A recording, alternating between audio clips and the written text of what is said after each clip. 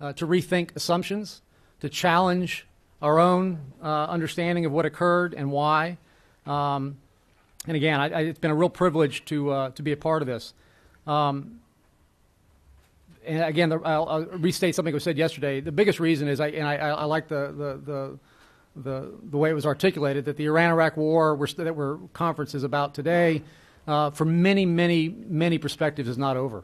And it still affects events, and it still affects U.S. policy today in ways that I think we would do ourselves a favor uh, to understand.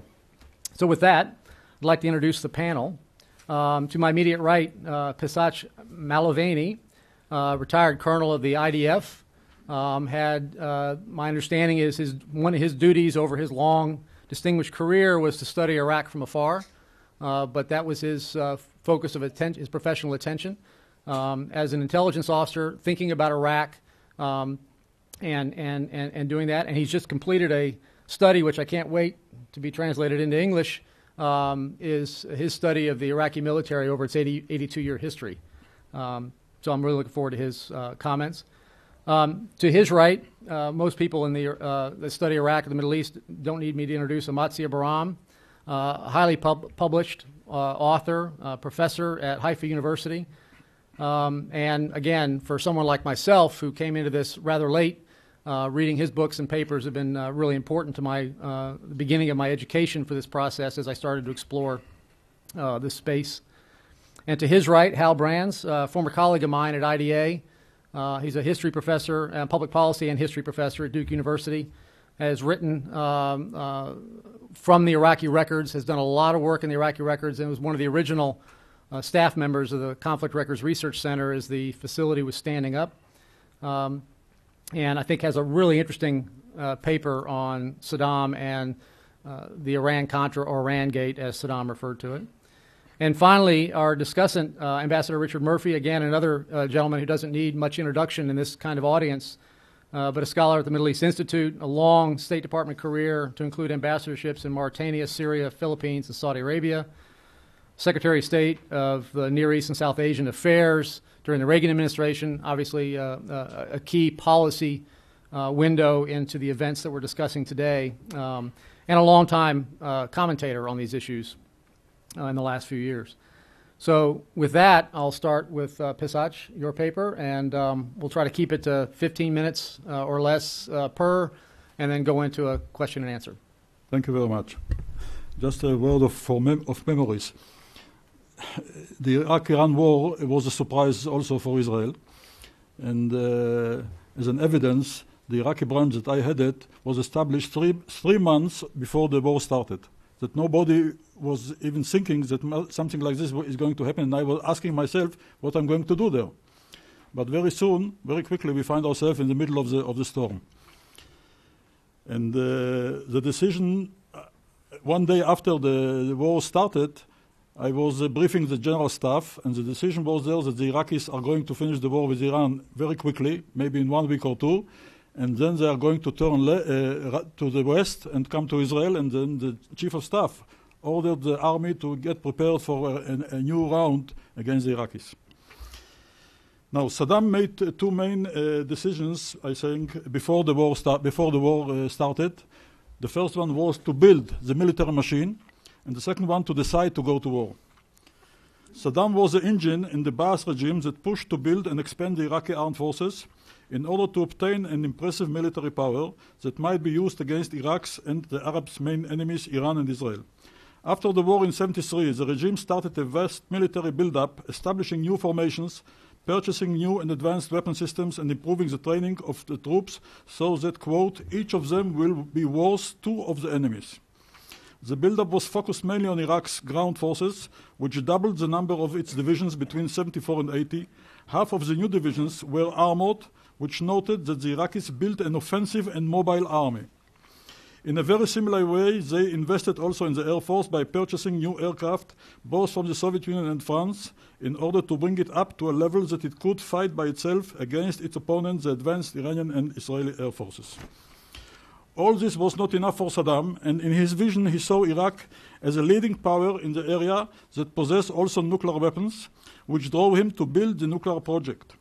Iraq was the only Arab country at the time that built a great army that is capable, so they believed, to overcome the Iranian army that was weakened after the Islamic Revolution. The new Islamic regime in Iran posed very quickly a strategic threat to Iraq and its security, and Saddam understood that there is no way to avoid the coming war between the two sides.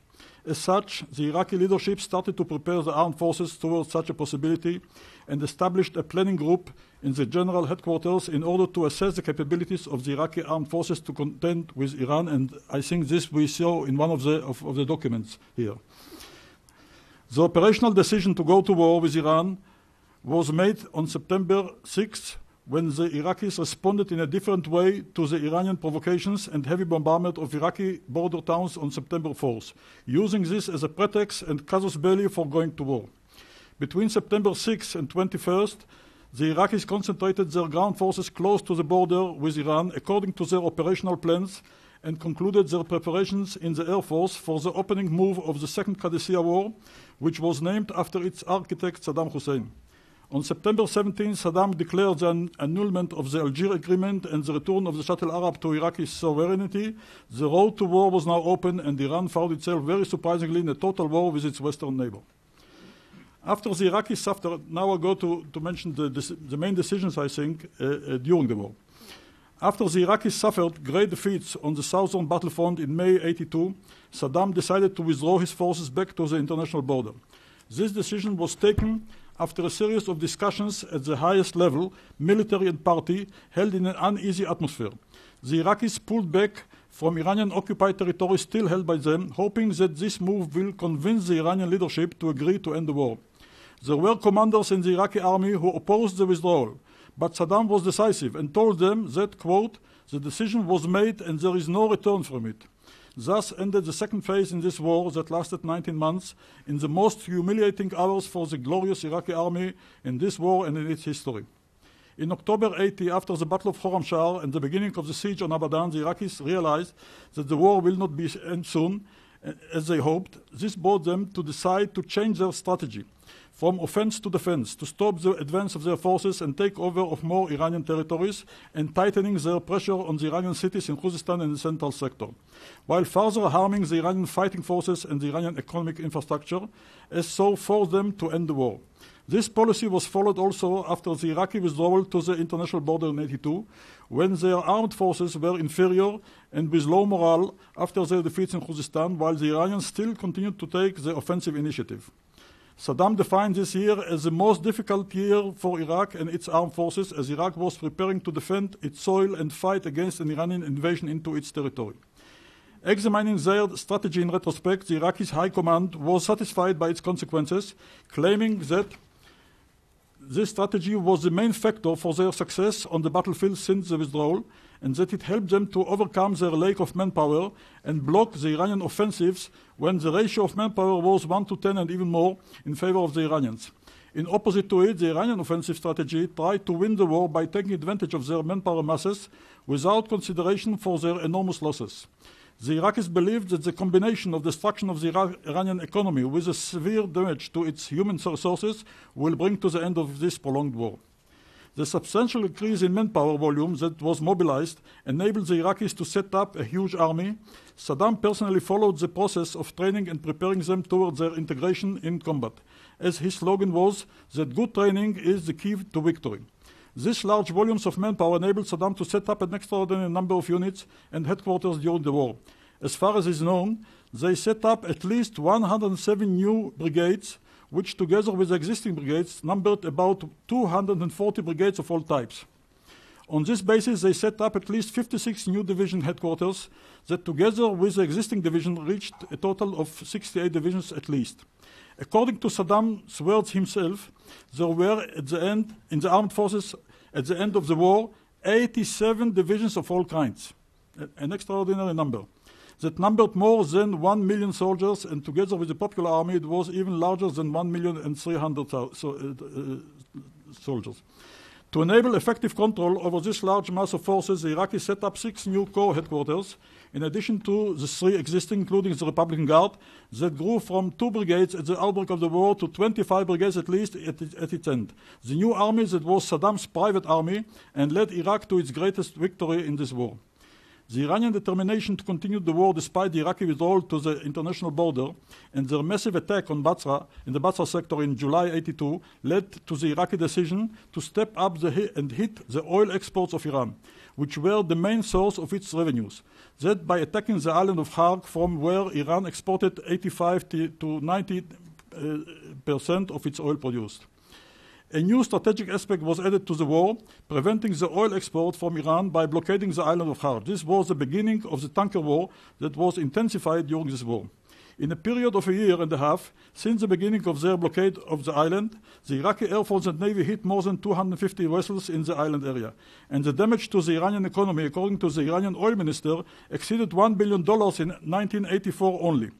The continuous Iraqi attacks added to the aggravation in the internal situation in Iran, as the damages in the oil industry brought to a widespread unemployment. Iran's prime minister even warned that his country is close to an economic disaster. These developments had an immediate impact on the global oil market by raising oil prices. Since the withdrawal of the Iraqi forces to the international border in June 82, the Iraqi populations that lived along it, including in the cities of Basra and Mandali, found itself again under Iranian artillery fire. In a speech on Army Day on January 6, 1984, Saddam warned the Iranians that further attacks against Iraqi territory and cities will be a sufficient reason to take deterrent actions against Iran. The Iranians continued their attacks, and the Iraqis decided to intensify the, their air and surface to surface attacks against Iranian targets. In March 85, the Iraqis were surprised by an Iranian air raid on Baghdad for the first time since many months, followed after a few days by Scud missiles the Iranians received from their allies.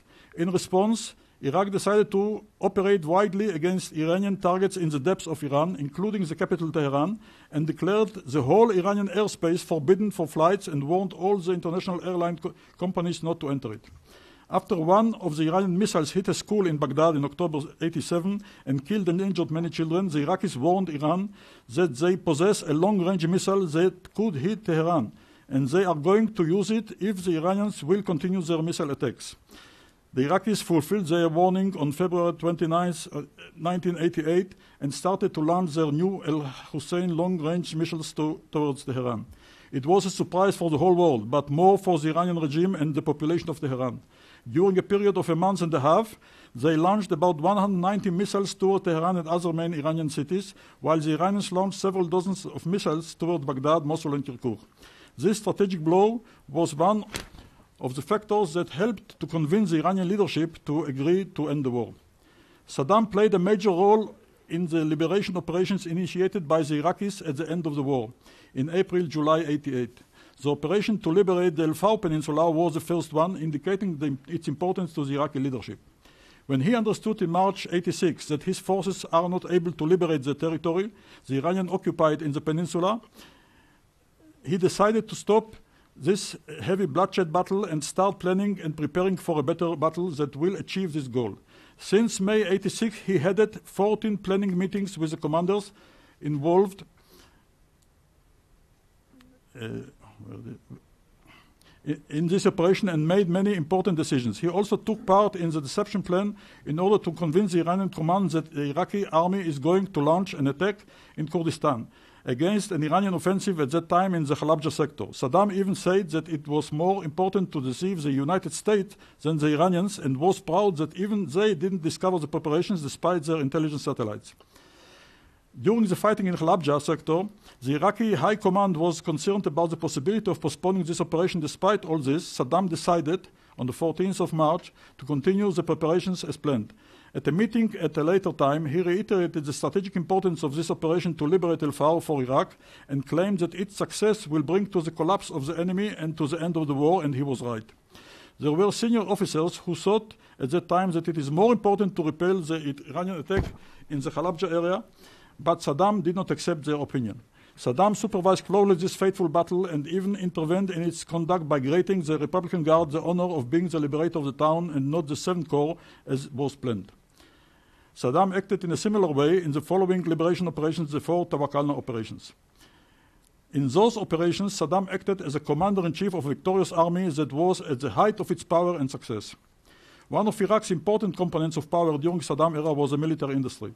The Iraqi leadership and especially Saddam himself were aware to the important science and technology and their contribution to build up their military power. Therefore, they invested heavily in developing their military industry and tried very hard to obtain advanced technologies, including for the development of surface-to-surface missiles and weapons of mass destruction. An important milestone in the development of the military industry was the beginning of the development of surface-to-surface missiles. Another important product of their military industry were the chemical and biological weapons.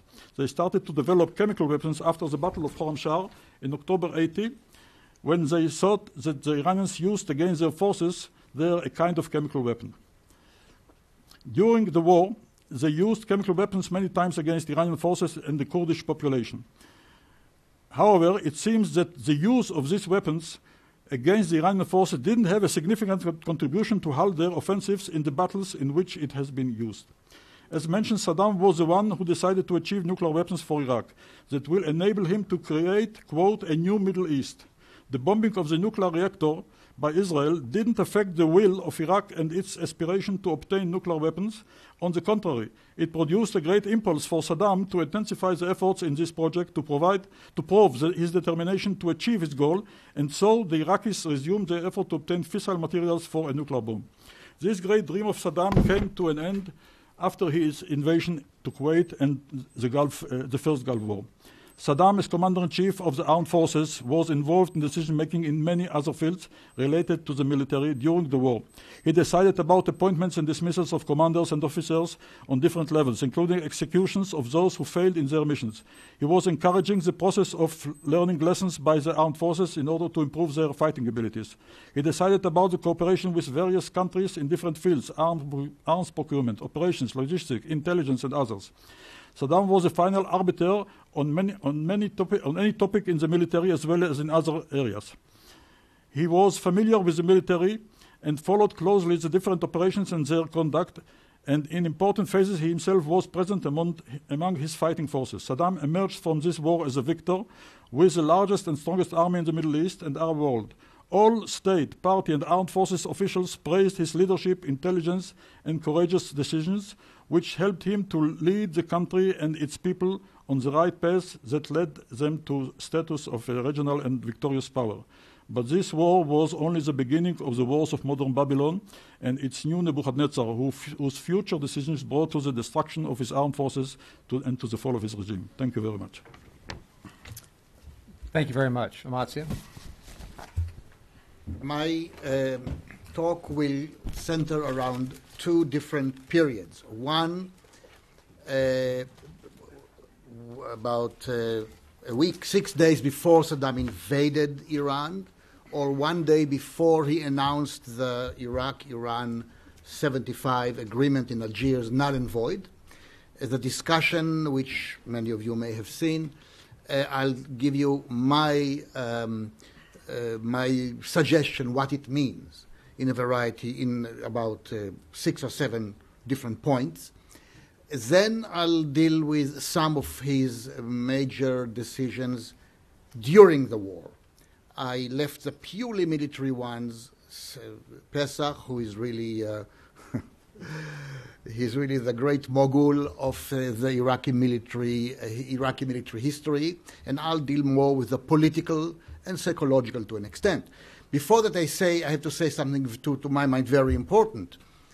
The more I was listening, uh, having these, these uh, earphones, you know, listening at the CRRC to Saddam Hussein's decisions with his uh, generals and with his uh, party luminaries, uh, uh, the more entertained I was. and sometimes it really knocked my socks. It was like, wow. not that there are not boring parts, there, there are. But my conclusion is that A, Saddam was not a clown, he was not stupid, and uh, not at all. Very brilliant. Very, he didn't know much about military affairs, but he had basic common sense. And what uh, Pesach just described is also a part of this. Uh, he, he's impressed roughly in the same way, even though he sometimes made unbelievable mistakes. But at least when you listen to him, he makes a lot of sense in many cases, in most cases. Uh, sometimes it's so funny because uh, the way his sycophantic uh, luminaries are, are, behaving in his, his, his, in his presence is like, really, I mean, Well, strange and funny. So, okay. And some of his things, of the things he said are unbelievable. Uh, but on the whole, these documents, if you look at them, not just I'm an historian in the first place, uh, I'm an intelligence officer in the second place, uh, um, and I am a political analyst in the third place, uh, contemporary. And I can tell you, it seems to me that the things that you hear and you see and you learn from those documents are very contemporary because we still have a number of, of uh, dictatorships in the Middle East, and we might have some more in the future. Uh, the big picture of the, of the discussion on the eve of his declaration that the agreement is null and void, uh, the main issues A, the main conclusions. A, uh, the, the invasion of Iran is, is being decided upon, or the declaration that the, the agreement is null and void, which may mean a war. Uh, is the result not of Iraqi fears, not of Iraqi fears, much as I appreciate the importance of the Shi'i component at home. It is a pure, uh, um, uh, or almost pure, 90% pure, uh, uh, picture uh, of self confidence. We are a superpower. The Iranians, militarily speaking, are finished and we have to take advantage of, what, of, what's going on because they provided us with legal justification to, even if necessary, go into Iran. Because they, in various ways, annulled the 75 uh, agreement. So if we declare it now ex cathedra, this is only doing it after they had done it already. So internationally speaking, we are very uh, welcome to do that. And thank you, the Iranians, thank you, Khomeini, for doing this job for us, because now we can do it. Uh, second, uh, top priority to local Iraqi interests at the expense of Arab interests. Three, after we reach Gulf and Arab hegemony, then we shall turn to Palestine. But first, we have to be Gulf, and we will be Gulf and Arab uh, hegemons, if you wish. Number four, a huge suspicion, unbelievable, but actually now I'm saying believable, uh, uh, of the superpowers. The, the, first, the, the Russians, they will not sell us weapons. They will not sell us extra weapons ammunition. They, they did it to us in 1974 when we fought the Kurds, did it again 75 when we had to make concessions to the Iranians in the agreement. They'll do it again, which means we have to find other sources, but in any case, the war has to be very, very brief. It has to be a blitzkrieg, absolutely, or we are in grave danger. America America and Israel are in cahoot with Khomeini. They brought Khomeini to power, the Americans and the Zionists. And so trusting them is really a joke. The Arabs. The Arabs are fickle. The Arabs are treacherous. The Arabs are, you cannot rely on them. Uh, he mentions only one country, Kuwait. He did consult with them, he did tell them, and he did tell the Saudis that he was going to do something with the Iranians. But he said the Kuwaitis are even now shaking in their boots, so how can you count on these guys? So these are the main conclusions. If I don't manage to finish everything, at least you have my conclusions, my conclusions of this amazing discussion. It's truly an amazing one. Uh, the question, as I'm saying in my article, is not to invade or not to invade, but rather to declare or not to declare. And the very beginning, Saddam says, uh, it is my view that we should declare the agreement null and void. So you understand very well that we are not dealing here really with an open discussion, right? Uh, well, you know, he said what he thought, so that's, that's basically it. Uh, however, surprisingly enough, as I mentioned yesterday by, in passing, uh, uh, one person too, but especially one, um, uh, Ali uh, Ali Hassan al Majid, his paternal cousin, uh, uh, called also Ali Kimyawi, Chemical Ali. He is the only one who dares say something which Saddam really disliked. And when Saddam, when he says it again, and why he, he doesn't say we shouldn't. It's just that we should reconsider, and that's daring enough in Saddam's presence after he told you what he thought. Okay. So he said, maybe we should reconsider. And the moment he says it, Saddam says to him, uh, yeah, Abu Hassan, ما بفهم, I, I don't understand what's going on here. Uh, you only, at the beginning, and just going back for one second, in the beginning he said, this discussion is for you to tell me about all the negative sides, the downsides of, of my idea of declaring the agreement null and void. Give me the downsides. So Ali Hassan al-Majid, like a good cousin, is giving him the downside. One, two, three, four, five, six, seven, eight. And then he says, hmm, maybe we should reconsider. So Saddam looks at him and says, and you see, you hear in his voice this anger. He's angry, he's nervous. And he's saying, why are you giving me only the downsides? Why don't you give me the more optimistic sides of this? Well, uh, okay. So, okay, it is Saddam Hussein, but he does allow him to speak. Um, number one, uh, the importance of international uh, agreement. Absolutely important to him absolutely important in this discussion, very important. And I know, it, I know it from previous cases, he's discussing in 78. In 78, he's discussing uh, a war against Israel uh, with his, uh, of, his military officers in the Bakr, uh, secure, uh, uh, University for Security Studies. How is it called? Bakr.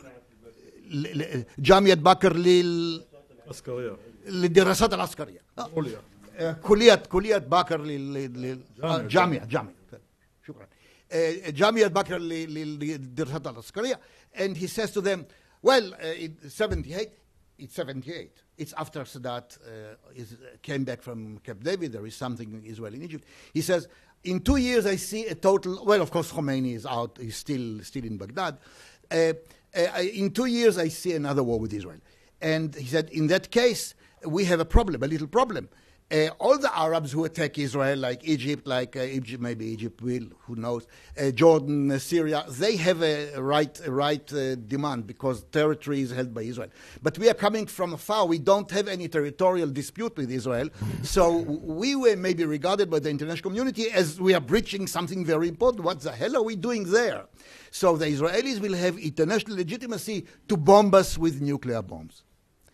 And Baghdad will be the first one to absorb those bombs. And he says, What do you think will be the Iraqi officer? What will the officers do in such a case? Uh, he said, Well, because the Iraqi officers uh, are going to go home, of course, immediately to see that their families are okay, which means we cannot attack. We must, we, we must have a nuclear bomb.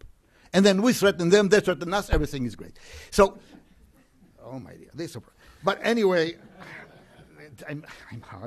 Eventually, he says this is very important. When he's told that maybe you should, we shouldn't by Ali Hassan Majid because maybe, maybe in order to secure the, the, the, the uh, waterway, which we claim is now our again, completely or more or less completely, we shall have to conquer the other uh, bank. Then uh, he said, we are going to tread on Iranian territory, sovereign territory. It's a problem. He said, we should talk about it tomorrow. He never, never talks about it.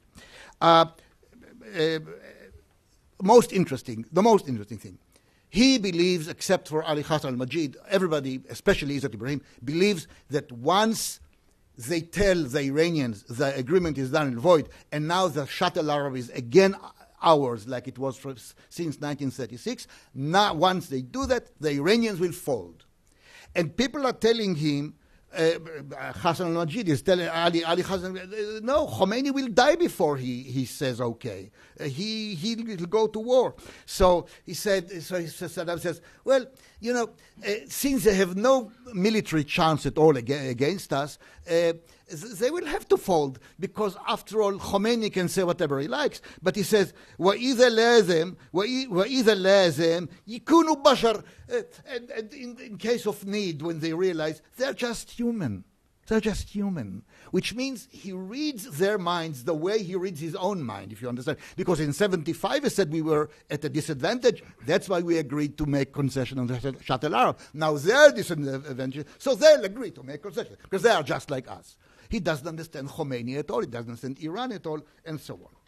Uh, the um, more ambitious Uh, uh, uh, ideas. Of course, it's Izzat Ibrahim who speaks. Izzat Ibrahim is his master's voice. You have to understand that. He had a conversation before that with Saddam, and Saddam, that's my reading, told him, I want you to say it so it will come from you, but of course, everybody will agree. Izzat Ibrahim says, in 10 to 15 days, we shall win the war, ta ta ta, like that, and then we shall become the superpower of the Gulf and of the Arab world and we will achieve our goals in 15, 10 to 15 days, which would have taken us many years otherwise. So this is a wonderful idea to do.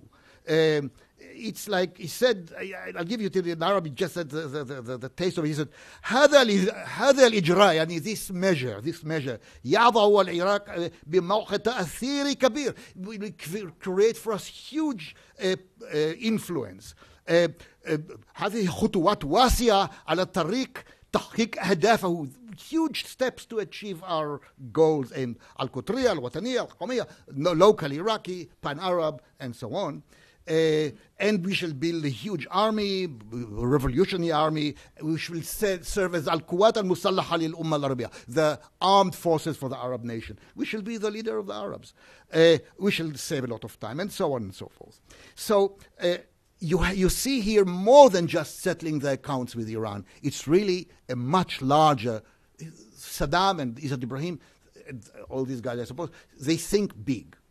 Um, he is already leader of the leader of the Arabs, and he's talking to Begin. He's ready to talk to Begin when he's leader of the Arabs.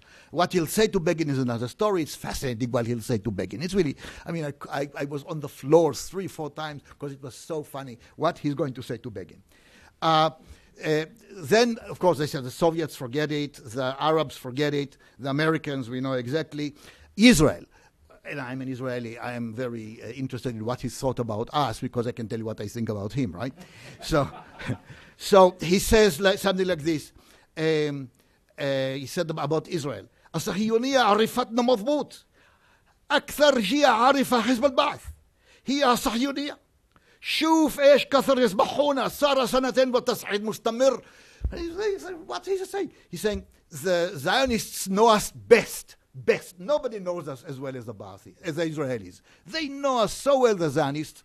And look, they know us so well. Look how they kill us. They kill us. For two years they have been killing us, and, and the killing continues. I think, what? This is before we destroyed their nuclear reactor. What is he talking about? I don't know. Maybe, I don't know what it is. But we know them. Maybe it's my biog- biography of his, which I published and which he had uh, translated. But, that, but I don't think so. Uh, okay. Uh, uh, inside the war. Um, only one thing. There are things he's not saying about the Shia. I'll just say it about the Shia in this discussion, not mentioned even once. It's not that it wasn't important. It was important, of course, and I, I, I agree with uh, Yossi, who spoke it yesterday. It's important. But he says why. He says we destroyed them, and he's right. I have it both on his source and on the sources of the Shia opposition themselves, writing in Tehran after they fled to Tehran. And both he and the Shia opposition, Dawa, are saying Saddam destroyed us completely. So, yes, long term it may become a problem, but right now they are not a problem. We finished that problem. So you don't, they don't, you don't feel that they have any threat at them, not at all. In fact, also, it's not bon ton to talk about the Shia. It's not bon ton. And uh, uh, it's a bit of a, of, a, of a taboo. So that also in, hinders them, even if it's the most secret discussion and so on. My conclusion if you look at that, and if you look at wartime decisions, which I did as well, you feel something very strange. Because the Shia didn't like the war, but their opposition to the war, except for very, very small action activities, very little uh, real military activity against the regime, uh, they felt that they won the Shia over. And when the war is over, Saddam is telling uh, his uh, luminaries, again, a small meeting, and said, Look, Khomeini says that my people, that I'm detached from my, my, my people. معزول يعني معزول عن شعبي. He said, I'm not ma'zul, I'm not detached, he is detached. I, I suggest to have a competition. The Iraqi Shia will have a perfectly democratic public opinion poll about me, and the Iranians will have a perfectly democratic public opinion poll about Khomeini, and see if I don't get 100%, and he'll fail. So you think, my God, where is he living? This sense of security, not total, but to a large extent, is going through the war. And at the end of the war, when, if you remember, after the war, after you guys knocked him out in Kuwait, there is a, a huge public uh, uh, really shabby, public revolt in the South. The South is on fire, the Shi'i South.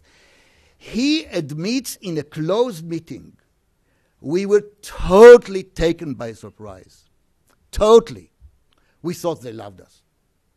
And that is a total uh, uh, uh, surprise. My conclusion because it's taboo, it's not nice. Eventually, they talk about it a lot after the revolt, but in the war, very little. They tended to think that things look more or less okay, and the Shi'i opposition was very passive. I can describe how, but doesn't matter right now. That the result is that they didn't pay enough attention to public moods amongst the, the uh, citizens, and this hits them very hard in 1991 in March. And I think that the revolt in the south was more dangerous to the regime. Uh, uh, General Jabouri will tell us if it's true or not, but my conclusion is, and also looking at what they're saying, that the 1991 revolt against them after they lost the war to America and lost so many troops and so on is so traumatic. It's more traumatic than the war against America. Thank you. Thank you very much. Hal. Thanks, Kevin. Uh, just a couple of prefatory comments. Uh, as Kevin mentioned, I am a, a, CRC alum, so it's great to see what David and Lori have, have, and their staff have done in terms of getting the whole thing up and off the ground, and hopefully this will be the, the first of many conferences to, to draw on these materials. Uh, second, uh, Amatzia briefly mentioned uh, a couple of some of what I think are the most fascinating documents in the archive, and it's in the period between about 78 and 81 when Saddam is talking about what Iraq is going to do vis a vis Israel when it finally gets nuclear weapons. Uh, and it's really interesting because he's talking about using nuclear weapons to create sort of a stable deterrent at the nuclear level so they can wage conventional war against Israel. Uh, and his confidence that Iraq could win a conventional war was probably somewhat misplaced, but uh, he was very much convinced of this. And uh, David Palkki and I did an article where he dress some of this stuff up in political science language. Uh, but for those of you who get over to the CRC, I, I highly recommend those, those documents. So, uh, my paper today deals with Saddam's diplomatic decision making during the war, and particularly his relations with the U.S. Uh, we know quite a bit about the U.S. views of the wartime relationship through the work of Malcolm Byrne and Bruce Jentleson and others. So, my paper uses the new Iraqi records and some other sources to look at Saddam's side of the affair. Uh, so, I ask questions like how did Saddam view his dealings with Washington, uh, what tactics did he use to elicit and maintain American support, uh, what lessons did he take away from the experience. Uh, and just to, to, give you a preview of the conclusion, uh, what emerges is that there's really a striking duality to Saddam's uh, wartime relations with Washington. So, on the one hand, we see sort of Saddam the ultimate pragmatist. Uh, this is a guy who very early on saw the value of American support and used a mix of, of cunning, cleverness, and even some conciliation to facilitate that support. But on the other hand, we also see that Saddam maintained throughout the 1980s uh, really a, a, bitter and intense sort of wariness and hostility toward the United States. So much so that he emerged from the war seeing uh, America as a major threat to his regime. So, to understand how Saddam could hold both of these views, it's useful to know a little bit about his pre war perceptions of the United States. So, for long before the, the 1980 invasion, Saddam had viewed the United States as a power that was basically unfriendly to the Ba'athist revolution. This was something that came from Ba'athist ideology. It was something that came from Saddam's tendency to see a Western or Israeli conspiracy in every misfortune. Uh, it was something that came from his, in what was in a lot of ways a remarkably self centered worldview, uh, and from other personal characteristics as well. And it should be added, it was also something that came from hard experience because uh, Saddam well knew the United States had sought during the early 1970s to undermine the Ba'athist regime by aiding the Kurdish insurgents in the north. So throughout the 70s, Saddam was prone to see sort of the hidden hand of America in, in pretty much everything that happened in the Gulf. And my favorite example, uh, referenced by Amatzia, was that in one of the documents released today, uh, he seems convinced that the United States had somehow masterminded the Iranian Revolution uh, and even perhaps the hostage crisis uh, in order to improve its position in the region vis a vis the Gulf states. So, at the same time, Saddam could be remarkably pragmatic uh, and opportunistic in dealing with Washington. So, after his relations with Moscow soured during the mid 70s, uh, Saddam turns to the United States for greater commercial ties. Uh, after the Iranian Revolution and the Soviet invasion of Afghanistan, there is even some talk of forging closer diplomatic or military relations with Washington. Uh, and the details of this last part are still quite murky, but it looks like Saddam actually availed himself of American medical expertise in the late 70s because he secretly asked the Carter administration to send some doctors to Baghdad to retreat. Uh, I guess it was probably his back ailment. His And- spine, yes. Yeah, in 1977 or 78. And it I looks, met- it looks like doctor. yeah, it looks like Carter agreed. So Yeah, yeah, so the the- doctor went yeah. there, yeah. The key point uh, here is that hostility and opportunism could easily coexist in Saddam's views in the United States. Right? So the same pattern persists during the Iran-Iraq War. Saddam was never comfortable about his wartime alliance with Washington, which I'll talk about in a minute, uh, but he definitely realized it was very useful. Uh, now, I should say that the effect of U.S. support for Iraq has often been exaggerated in the, the scholarly and popular literature. But it's clear that the Iraqi government did derive some real utility from uh, things like American loan guarantees, intelligence sharing, diplomatic pressure, and eventually military pressure on Iran, and so forth. And Saddam realized all this early on. So, from early 1981, really from about February and March onward, uh, his diplomats repeatedly called on the United States to exert more pressure on Iran to stop the war. Uh, and while Saddam and his subordinates usually didn't like to ask explicitly for more concrete American assistance, uh, they definitely hinted on, on various occasions that more uh, loan guarantees, dual use exports, uh, and other sorts of aid would be greatly appreciated. Now, the key thing to appreciate here is that Saddam and his subordinates could, could actually be fairly flexible uh, in dealing with the United States. Right? So, Saddam, for instance, he tones down his normally vitriolic rhetoric toward the United States during the 1980s for the most part. Uh, he takes a more moderate stand on Arab Israeli issues. Uh, he allows some strikingly intimate ties between U.S. and Iraqi intelligence. Uh, there are about 60 DIA analysts in Iraq by the end of the war. Uh, and to improve Iraq's image in the United States, the, the government gives preferential treatment to U.S. academics and policy wonks. So people from uh, Brookings, NDU, and other think tanks are brought to the Iraqi embassy, and on some occasions to Baghdad itself for interviews with top regime officials. Uh, and if, if you read sort of the, the literature on Iraq that's written during the mid 1980s by some of these folks, it, it appears that you know, these efforts had the desired effect. Uh, now, these were hardly the only ways in which Saddam sought to cultivate uh, his relations with the United States. Uh, his representatives in Washington, they actively worked the U.S. legislative process. They hired lobbyists to make the case that commerce with Iraq would benefit uh, agricultural, industrial, and financial interests in the United States. Saddam clearly paid attention to the importance of uh, increasing bilateral economic ties as a way of raising the costs of any U.S. decision to cease supporting Baghdad. So you can see this in the pattern of Iraqi oil exports during the war, uh, which grew from basically nothing in 1982 to about 125 million barrels a few years later, with U.S. purchasers receiving uh, a dollar per barrel discount. And the wisdom of this policy became evident during the congressional debate on whether to impose sanctions on Iraq after the gassing of the Kurds in 88, uh, as oil industry representatives and other special interests quickly mobilized to weigh in against any real punitive action. Uh, and I think we can even see Saddam's decision to expand the war into the Gulf in the mid 80s uh, as part of a campaign to win additional foreign and especially American assistance. So there, there's no doubt, uh, as Kevin and others have pointed out, that Saddam sincerely believed that waging economic warfare would be beneficial mil- militarily. Uh, but he also seems to have hoped that the attacks would goad the Iranians into doing something drastic that would endanger Gulf oil flows uh, and thereby force Washington and potentially other powers to, to intervene. So Saddam had, repeatedly commented that if the United States really wanted to end the war, it could. Uh, and he certainly recognized that a U.S. Iranian confrontation would only help Iraq. Uh, and sure enough, when that confrontation occurred in 1987 88, uh, the Iraqi foreign ministry reversed its earlier position and basically tacitly gave its blessing to uh, the presence of U.S. naval forces in the Gulf.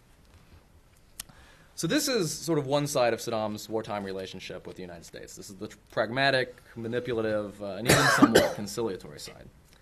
But there's also a, another side of the relationship, one that was far more hostile and distrustful. So even as Saddam is benefiting from American assistance during the 1980s, he reels off this remarkable list of accusations against the United States, mostly in private, but occasionally in public. So, just to list a few things, uh, he charges that American AWACS are spying on Iraq and passing the info to Iran. Uh, he charges that the United States was behind the attack on Osirak in 1981. He charges that uh, declining gasoline prices represent an international conspiracy to harm the regime.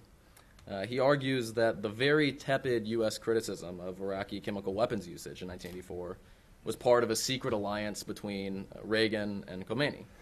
Uh, he alleges that the United States is purposefully feeding Iraq faulty intelligence to weaken its position on the battlefield. Uh, he argues that Washington was uh, using its naval actions against Iran in the Gulf in 87 88 to distract the world from uh, Iraq's glorious military triumphs at the end of the war. Uh, and there was one meeting just after the close of the fighting where Saddam flat out alleges that the United States is undermining and perhaps trying to overthrow his government, and he even seems to assert that Washington had recently tried to have him assassinated. So, throughout the war, uh, Saddam is convinced not just that long term U.S. and Iraqi interests diverged, but that Washington was actively working to bring him misfortune. Okay, so, why did Saddam take such a dark view of U.S. policy? Uh, part of the answer almost certainly has to do with personality, um, particularly Saddam's long-standing mistrust of the United States, uh, his penchant for conspiracy thinking, uh, his unwillingness to accept responsibility for Iraqi setbacks. So, just to give you an example, when Saddam's forces are, are driven off the Fao Peninsula in early 1986, he immediately jumps to the conclusion that the United States had deliberately provided his analysts with misleading intelligence, uh, rather than considering that the information was simply mistaken or that the defeat was the result of subpar uh, Iraqi performance or intelligence gathering. Uh, and various other instances testify to the same basic characteristics. So, so personality is clearly part of the issue. Um, but you can't simply chalk up Saddam's fears to ideology or irrationality. Um, because Saddam was, was no fool. He understood that the Reagan administration didn't actually want Iraq to win the war, they just wanted uh, the Iranians not to win. Uh, and so Henry Kissinger and various people in the Reagan administration were saying, usually off the record, that it's a shame both countries can't lose. Uh, the Iraqi Foreign Ministry duly reported these comments back to Baghdad. So it wasn't entirely unreasonable for Saddam to think that the United States might actually be balancing its support for Iraq with assistance to Iran as well. Uh, and this is what Saddam was getting at in this comment that he makes to Donald Rumsfeld in 1983 when he says that American policy was, quote, to let this group of lunatics bash each other. Uh, and as it happened, Saddam was he was partially correct in his suspicions, uh, which the uh, the Iran Contra scandal showed when it broke in late '86. I won't go into the details here, but uh, in public, Saddam's response to the scandal was was fairly restrained because he recognized that uh, his regime couldn't afford a full break with the United States. But in private, uh, Irangate, as, as Saddam called it, which is which is interesting because he, he couldn't care less about the Contra aspect of, of Iran Contra. it had a major impact on his views of the relationship with Washington. Uh, and it really shouldn't be surprising when you think about it, because it's really difficult to imagine anything the Reagan administration could have done that would have been better suited to reinforcing Saddam's worst suspicions about the United States. Right. So the arms sales strengthened Iran at a time when Saddam was fighting for his political life, and they involved a trilateral, con- trilateral conspiracy involving the United States, Iran, and Israel. Uh, so, just to, to, draw sort of a, a, facile analogy, it's almost as though Stalin had discovered in 1943 that the United States was sharing sharing a limited amount of arms and information with Hitler. Right? So, what's very clear in several of the documents that flow out of this is that Iran Gate sort of served for Saddam as, as the conclusive proof that everything he had always suspected about the United States was true. Uh, he refers to the arms sales as the stab in the back, uh, and as Tariq Aziz later put it, the whole episode convinced Saddam, quote, that Washington could not be trusted and was out to get him personally. So there, there's this great irony of U.S. policy toward Iraq during the war. We, we set out to reassure Saddam, but our actions have precisely the opposite result. Uh, and I won't elaborate much on this, but the, these suspicions stuck with Saddam through the end of the war and after. So during 87 88, Saddam is convinced that the United States had never stopped passing intel to Iran. Uh, and so even as Iraqi forces are using American intel to plan their offensives in early 88, uh, they're also designing deception plans meant to confuse mainly American intelligence, our satellites, as to Iraq's intentions on the battlefield. Uh, and this goes on and on. And, and, even into 89 and 90, as Saddam's uh, economic and political problems are worsening, uh, he regularly alleges in private that the United States is behind these problems, and he often refers back to Irangate as evidence that Iraq was, I'm sorry, that Washington was out to undermine his government. So this perception of uh, American treachery was something that very much stuck with Saddam after the war ended.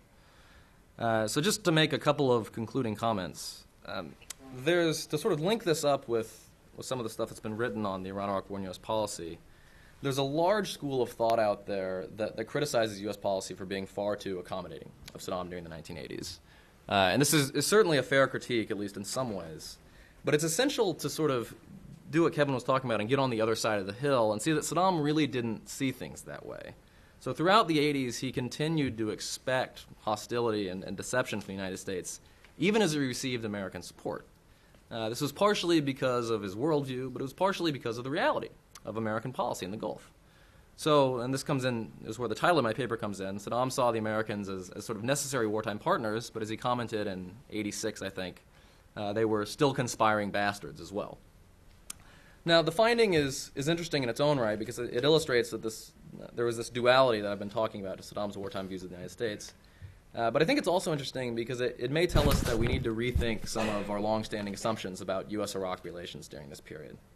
Again, there's a substantial body uh, of thought out there that one of the reasons Saddam invaded Kuwait in 1990 is because the United States had somehow convinced him during the Iran Iraq War that it would treat him with great forbearance, that he could get away with, with all manner of outrages. Uh, now, this may partially be true, but some of the findings that I've talked about here uh, and some of the things I've developed in, along with David Palkki uh, indicate that uh, Saddam's views of the United States probably weren't quite so simple as this would make out. So we may be wise to consider alternative explanations as well. Thanks. Thank you very much, David. Um, I neglected, uh, Dr. Malovany had, uh, Colonel Malovany had asked to be able to show some photographs associated with his talk. So I'd like to see a couple of, couple of minutes from the end, um, let him give presentation. the, the scenes of the first Qadisiyah and the second Qadisiyah battles. You see the, the cavalry the first Qadisiyah of the 7th century, and the tanks, the armor of the second. This is the build-up of the Iraqi armed forces before the war. And here is visiting one of his armor divisions, the 10th division in uh, uh, uh, Taji before uh, its operation, it started operations in the war, and these are the Iraqi soldiers uh, uh, after the conquest of, of the enclave there. Saddam is visiting his forward units. Here we say with the helmet in the area of Abadan. This is in the forward headquarters of the 9th Division uh, during the Battle of Khafajiyah in, in January uh, 81. And here he's with his friend uh, Hussein, King Hussein, in the central sector watching what's going on. And here also after the withdrawal in the Amara area. Here is consulting with his generals. You can see here the Chief of Staff, General Shanshal, Adnan Khairallah, and all the other corps commanders and Air Force commander about the situation. This is the building of forces during the war. Here, here we see the second armored brigade of the Republican Guard when it finished. When it finished its uh, training, and this is another uh, regular uh, army armored brigade parading vis-à-vis him, and the, the Mirage F1, as it was mentioned before. This is the island of Kharg, which the Iraqis bombed several times in order to prevent the Iranians from uh, uh, exporting their oil. And this is a very nice picture of uh, Iranian, Iraqi missile boat launching one of its missiles and hitting uh, uh, one of those many ships. These are the, uh, the elements of the War of the Cities. The use of the Air Force at the beginning, and then the long-range missiles they uh, uh, developed, the El Hussein and the El Abbas. This is an interesting thing. They uh, announced the places, they, they published maps of Iran with the places they are going to bomb the next day, so the population, the Iran population, can evacuate them before, and not going, uh, not getting ma- many losses. Here, uh, at the planning and uh, uh, of the uh, Best Ramadan operation uh, to liberate uh, uh, El Fau, the- here is with his chief of staff, deputy chief of intelligence, and Hussein Kamel, deciding the D-day and H hour. This is one of the planning uh, uh, meetings, and this is after the uh, operation was successful with uh, General Maher, the 7th Corps commander, and General Rawi, the Republican Guard commander. These are the uh, development of the uh, military industry, the El Abed missile, a, a double-stage uh, system that fa- actually failed, and this is one the, the actually the Iraqi, uh, uh, let's say, call it so, the Iraqi AWACS airplane. Yes, this is the Osirak, the Iraqi uh, uh, uh, uh, reactor after the visit of the Israeli Air Force. And here you can see the commander in chief in action, showing on the map, and his fantasies to be the descendant of Nebuchadnezzar. And here again, with this is the, with his deputies after the Karbala 5 uh, uh, operations that failed, and here with the chief of uh, staff, General Danoun, chief of intelligence, General Mahmoud Shukr Shaheen, who was uh, dismissed after because of the failure to, uh, of the FAO uh, occupation by the Iranians and Hussein Kamel. Here with uh, two uh, leading field generals, General Saadi Tun Abbas, who was defense minister in 91, and General Hisham Sabah al-Fakhri, who were leading the Iraqi forces during the FAO uh, uh, battles. And here with General Rawi in one of the operations at the end of the war. Thank you very much. Thank you very much. Ambassador? Well, I congratulate the panelists for their papers and the team that's done so much spade work getting the documents together. Uh, I felt on reading the ones that were uh, distributed to us before, we have to treat them with caution. It's a limited selection, and our evaluations may well uh, change as more and more of the documents are processed. Uh, just a reflection on the war from the perspective of uh, the front office in my bureau in Near Eastern South Asian Affairs in State. Uh, we ran what was known in the Department of State as the low rent district. That somewhere, something in that area is always going wrong, and usually very bloodily. Had to deal with Gaddafi, the Lebanese civil war, the Israeli Palestinian head ons, uh, the Soviets in Afghanistan, the rebels in Sri Lanka, the Pakistan Indian tensions. It was, it was quite a crowd. The question is how much credit or blame does Saddam deserve for his country's and his military's conduct of the war? And I, I feel we still haven't come to grips uh, with that issue. Colonel Malovany's paper very usefully tracks the Iraqi progress in building the military force, mobilizing resources. Uh, did that bring the end of the war? The one incident which we focused on uh, at the end of the war was the USS Vincennes, and that finally that had pushed Khomeini into deciding to end the war, that he could not have an active war going with the United States. I don't know. Maybe he was conditioned. Maybe Iran really was exhausted, and he knew the time had come, and used the Vincennes as a uh, uh, as an excuse to stop it. The casualty count by then was appalling on both sides. The early documents that we were provided with shows a leader that could only be described as having fairly serious attention deficit disorder. In that one meeting, he was hopping around from uh, very detailed, precise questions on the weapons and casualties to asserting the that Arafat uh, and the Syrians are bluffers. Algeria has no right to get into a mediating role. By the way, yes, let's destroy the decrepit houses in Baghdad. They're an eyesore. Uh, and cancel the oil agreement with Athens. They've been uh, discourteous. Indira Gandhi is shameless. Uh, and Israel's going to attack us before it attacks either Damascus or Amman. I mean, what what sort of profile does that give us uh, of a leader? The uh, he was receiving advice from his chief of staff, army chief of staff, that you know we should organize to increase enemy losses. Well, that suggests that there was a couple of major deficiencies on the part of the senior staff. I mean, it seems kind of obvious. As was been noted, Saddam sometimes invited. Uh, and said he invited comments, invited cr- reactions, even criticism. More often, he was in overdrive, revealing his wisdom. The Ba'ath Party had become his microphone to the country at large. Um, well,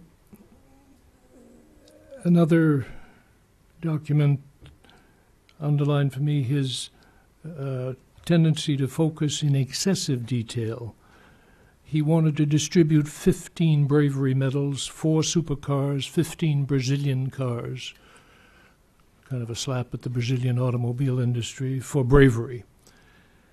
And I would think that kind of personality trait, where he gets down to the level of how much the First Corps should be rewarded in terms of bravery medals, just it'll it'll be uh, it'll be right to give them 15 bravery medals in the supercars. Now, other leaders can go through their moments of bizarre focus. I I recall our president and cabinet members in the Situation Room discussing the Lebanese Civil War and platoon displacements in the Shuf area where they had just been introduced uh, to the issue about five minutes before. So it's not totally unknown. But, um, and the papers do furnish ample examples of his fondness for conspiracy theories, to which he had every right, given the way we, the Israelis, and the Iranians had organized the Kurdish rebellion uh, back in the mid 70s. Um, but did it help his leadership and his decision making process to dwell on the fact, in his views, that it was the Jews? It wasn't Zionism, it wasn't Israel, it was the Jews were guiding Iranian policy. That America shares in that alliance, and the UN Secretary General is a party to the conspiracy. Did that distort his decision making on the battlefield? I don't think the documents give us a clear answer one way or the other on that. Uh, um, he missed, and this is a point that Amatzia makes very well in his paper, he missed one essential difference between Iraq and Iran, saying that Iraq was going to triumph through calculation. He missed the fact that Iran was not operating on strict rational calculations. It was drawing on the deep fund of energy of a revolution, which he, Saddam, had never been through. He had been through a coup d'etat very expertly managed, but not through his revolution, not, not through a revolution. And that Khomeini was able to carry on for years, drawing on that sense of a new social order in Iran. Um, I think he also totally underestimated the degree of obsession in our White House over the Beirut hostages. Hal Brands makes the point that the significance of military sales to Iran had less to do with any desire to aid the Iranian war effort than with Reagan's hope to get Tehran's assistance in freeing the Beirut hostages. I personally think that uh, uh, our assistance to Iran had nothing to do with helping the Iranian war effort. It was all directed at the assumption it would somehow get the hostages out. There was an interest in establishing more normal relations, if possible, with restoring something with Iran, as there was from the beginning in 84 when we resumed diplomatic relations with Iraq. Maybe something could be built. Irangate did confirm his suspicions of us. Uh, and he showed an interesting mix of cynicism, sophistication, and anger in his reaction. He tells his staff in one meeting, Don't criticize the Soviets, they act like big powers do. And an anecdote from the meeting I had with him, uh, with David Newton, I believe in 86, where he sat back and said, uh, There were just Saddam, his interpreter, and Tariq Aziz with us that you know America treats the third world the way an Iraqi peasant treats a new wife. Dead silence. So I filled it in saying, oh. Oh, yes. Three days of tea and honey and then off to the fields for life. Well, that's not, not uh, a total truth, but uh, there's something to it. Al Hal has written that we were strange bedfellows with Saddam in the 80s. No one I worked with romanticized the relationship. We were pleased to see Iraq restore relations. It was the last Arab country that had cut relations back in 67 to do so. Uh, we learned, I believe, from Nizar, or maybe it was from Tariq Aziz, that about the decision to resume relations had been taken in 82 but Saddam said, We will not renew until we are doing better on the battlefield. I don't want it to appear like I am acting out of weakness in going back into a relationship with the United States. Um, yes, our resumption of relations and our efforts with Iraq did reflect a steady push from friends such as King Hussein, uh, King Fahd, and the Saudis that Saddam had changed. His experiences in the war had been searing to him, and after the war, we would see him devote his energies to the peaceful improvement of his own people's lives. Even after Operation Staunch and our furnishing a good deal of information about the Iranian order of battle, supplying dual use items, the Iraqis never really, in my opinion, and from some of the field people in the agency that I talked to, never fully reciprocated. They didn't open the, the treasures of what was uh, what the Iraqis might have known. Uh, DoD, CIA can better answer the question of how much help we really gave. I'd be interested in the panel's reaction to the valuation by the Iraqis of the value of uh, value of U.S. as opposed to Soviet uh, supplied intelligence. As I said yesterday, the at the working level, uh, or rather this morning, that there were no voices saying we should let the fighting continue until the two bled themselves white. We were worried about it spreading, and the evidence of Iranian subversion, sabotage in Kuwait, efforts in Bahrain, uh, in the UAE were in front of us, uh, and we didn't want to see the Gulf states sucked into the, the conflict. But I don't dispute the fact that the Iranian attacks on the oil tankers were the direct cause of our getting into that very bizarre exercise of reflagging the Kuwaiti tankers uh, so that our Navy could escort them in and out of the Gulf. Uh, that um, was an echo of uh, Cold War thinking that uh, was behind testimonies I gave to the Senate Foreign Relations Committee, I think in 87, that uh, re- recall the words of Catherine the Great, even saying that we should keep the Russian troops from washing their feet in the warm waters of the Gulf. It's a little embarrassing looking back since three years later the Soviet Union had collapsed, but we were still flogging that horse and believing it. Um,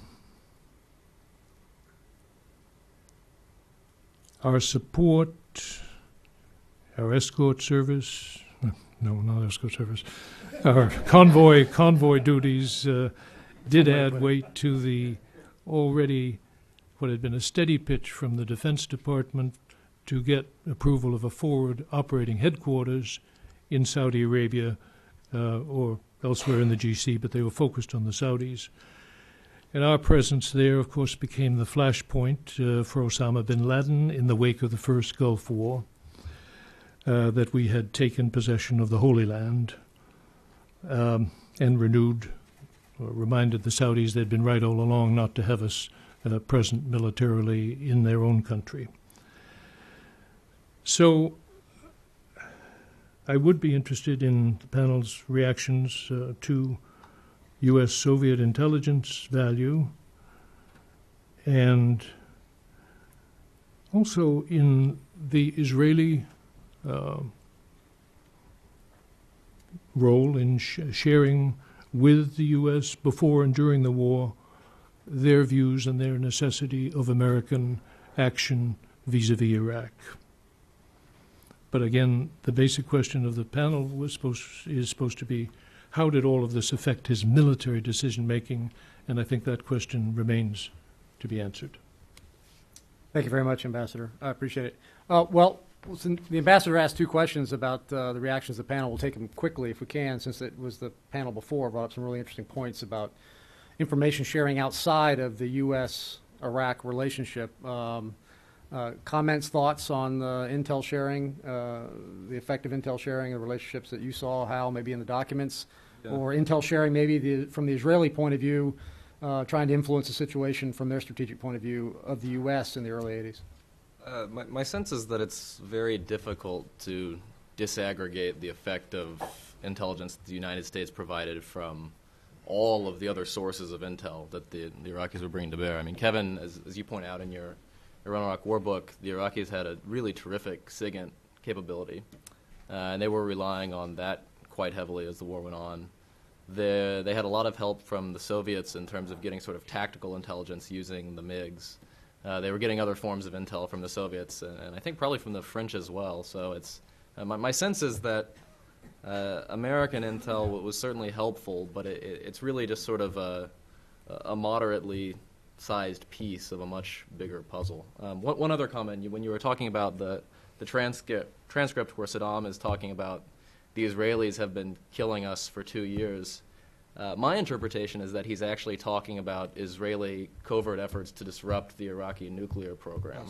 Um, I don't know, Kevin. What's is that your read? Well, I? I, that that was the first interpretation. The other one was that he was just kind of projecting the larger conspiracy idea that whatever the Persians are doing is because there's an Israeli hand in the puppet, you know, kind of making things happen. Because there had so. been, I guess, a couple of uh, nuclear scientists in Iraq's employ. I think they were actually Egyptians who were rubbed out during the 79-80 period, Yeah. and he, But certainly, not- the he tape- certainly blamed Israel for It's it. It's conversational, so the tape isn't clear. It's not like it's a document. You don't, you don't really know what he's. So it was not my biography of his. No. Um, No, I any- agree. anything on the Israeli uh, influences in that period? I mean, outside of Israel's own concerns, but I mean, as far as influencing the situation with the U.S. Look, Israel was uh, concerned at the beginning, as I mentioned, uh, that the war will be very short and he might come with all his force uh, toward us. Later, when it was learned that he was stuck in this uh, attrition war, the interest in uh, what was going on there was uh, deteriorating until he started to use the chemical weapons. And later, of course, the long-range missiles, which, of course, we saw it as a threat, and now then it uh, uh, implemented in uh, the 1991 war, of course. And uh, also after the 88, after 88, after the war was finished, uh, he uh, uh, uh, put more efforts in order to develop those uh, non-conventional uh, weapons. And we find out also that he's renewing the nuclear project again in a different way. And all this, of course, was a, for a great, of a great worry for for us. Uh, but uh, when he was uh, during the wars, from I would say 81 till 86, 87, uh, the, inter- the the idea was uh, we shared it also with all with the United States uh, authorities, I believe, that uh, this war is ne- is never going to end. Nobody was really knowing uh, what will happen, and uh, nobody was uh, really. Uh, taking into assess that uh, in one day uh, Saddam will initiate his uh, take the initiative again and uh, the Iraqis will uh, do what they did in the three months of uh, the victory operations and by this and, and also using the, the weapons the, the long range missiles against Iran uh, and the chemical attacks bringing to the end of the war in uh, August uh, 88 Maybe I can say something about it. Uh, I was uh, one notch below Pesach, but Pesach was not my commander at the time. Anyway, I saw, yes, we got from America some information about the Iran Iraq war. I didn't see that. I have no, uh, useful. I don't have any clue what we provided America with. That was one or two or three notches above my pay grade. Uh, uh, something about the reactor. What caught my eye and my ear uh, was a discussion uh, in the Iraqi elite after the destruction of the of the of the Tammuz or uh, uh, reactor. Right after a few days, and all these guys are meeting and talking about the diplomatic things and so on. Saddam is telling them, "My answer to Begin will be that we shall rebuild our nuclear industry. Every, uh, every lesson serves us for action. And we drew the lesson, uh, which means we are now going to disperse. I am looking and waiting and sort of listening carefully. Somebody said, What shall we be doing for these horrible Zionists? Now they really killed us, right? And nobody is asking. Saddam is not saying anything. I can tell you, because I was in Jerusalem at the time, that uh, I heard the Israeli Air Force uh, planes above my head 24 hours a day waiting for an Iraqi reaction. Iraqi reaction never came. Well, 1991 is a different story altogether, but anyway. And this uh, demonstrates to me, and the discussion too, there is no threat of revenge. And you know how al-intaqam, yani revenge, is important in Middle Eastern uh, uh, society. Nothing. I see this as a sign of, of great pragmatism uh, on Saddam's part. We are not going to open a second front. No way. It was 1981. They were in deep trouble in Khorramshahr and Abadan. Forget it. Right. So this way, about what you provided them, I can only quote Patrick Lang. And I'm, I hoped that he would be coming here, but he is a very uh, private man, so he doesn't want to open his mouth too much. But from Patrick Lang, I know that when he was there, the Iraqis wanted his advice about practically everything. They trusted him. And what he said is, you know, another thing is also very interesting. Uh, right on the day of the ceasefire, 20th of uh, August 1988, the uh, Pentagon pulled him back immediately. And the Iraqis said, What is this? You don't love us at all? And he said, Washington is pulling me back. In his view, the Iraqis saw, as if they needed it, another sign of American, uh, you know, um, you cannot rely on the Americans. One remark. Okay, and then we'll get to questions real Yes. quick. Just a, a memory. I was here in Washington with some of my people in the end of '88 to discuss with the United States authorities, CIA, DIA, about the renewal of the nuclear uh, project in uh, Iraq. And we were sitting the whole day discussing, and we showed them all the information we had. And at the end, they told us that nothing is going on there. They don't have any information about it.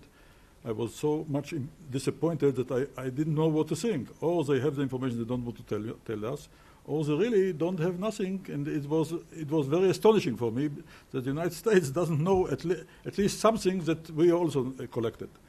But uh, after uh, several months, they uh, contact us and say, yes, we have uh, more or less the same signals that you have, and uh, we are now going to get into it much more deeper.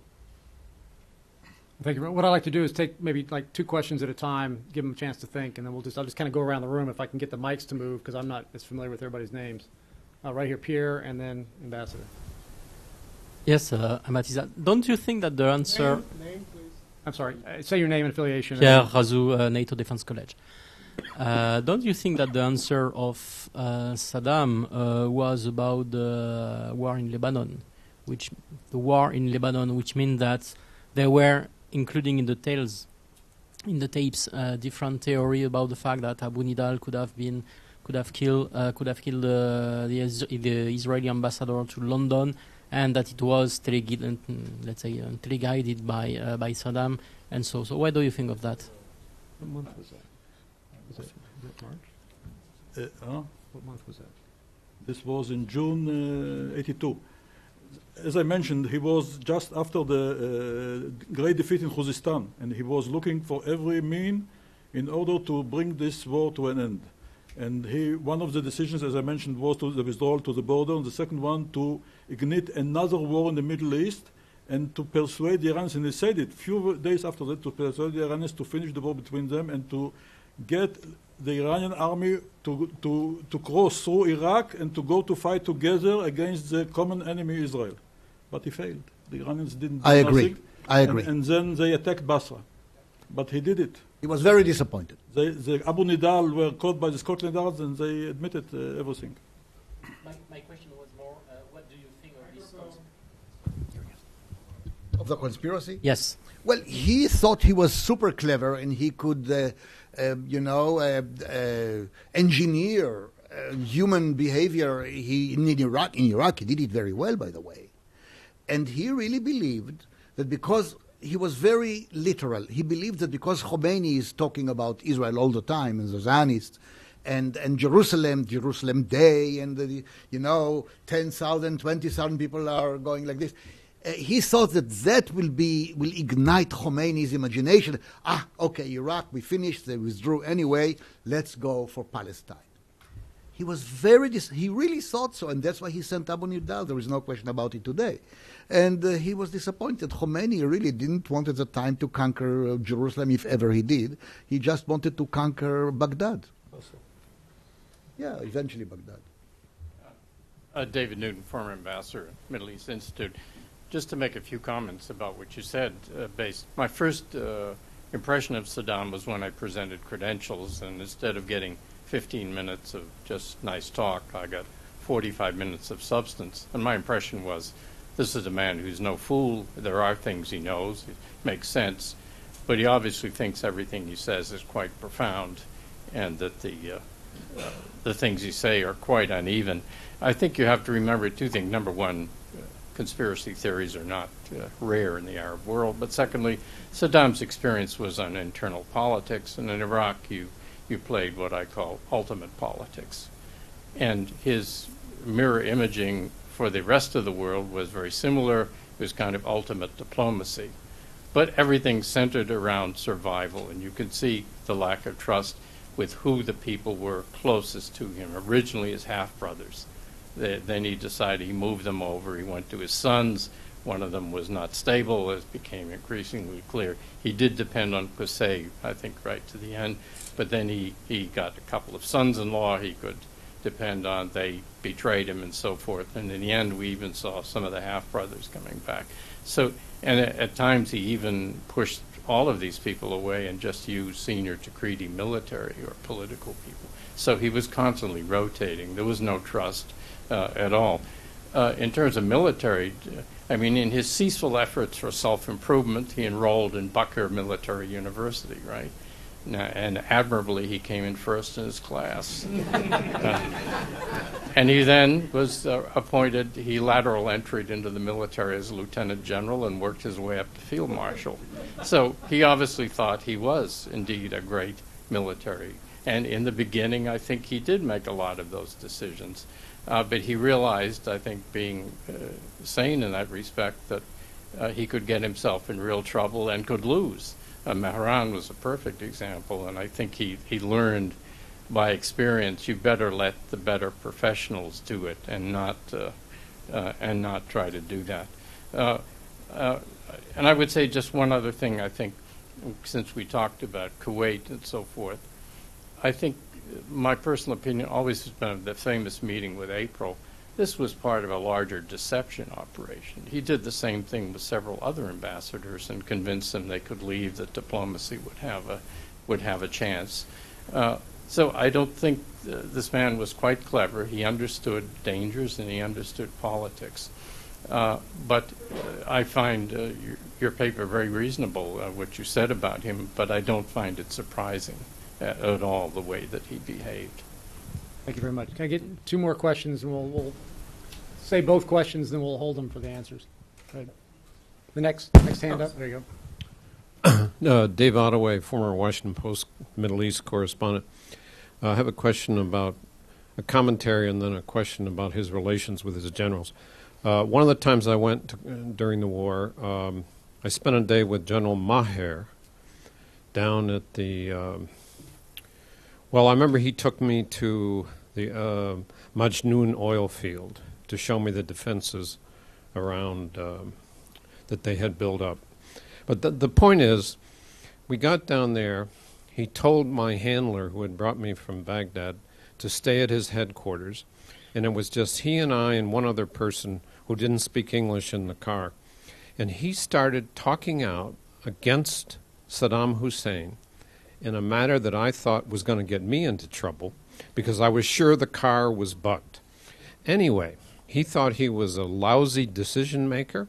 He thought he, that that uh, that he'd gotten the country into real trouble, and um, he told me he thought he was a coward. He told me he'd come down one time to the front to visit, and there was a shell had hit a mile away, and uh, and he had jumped into a culvert and hid. And he, I, I just couldn't believe it. He went on and on and on about how he disliked and thought little of his command capabilities.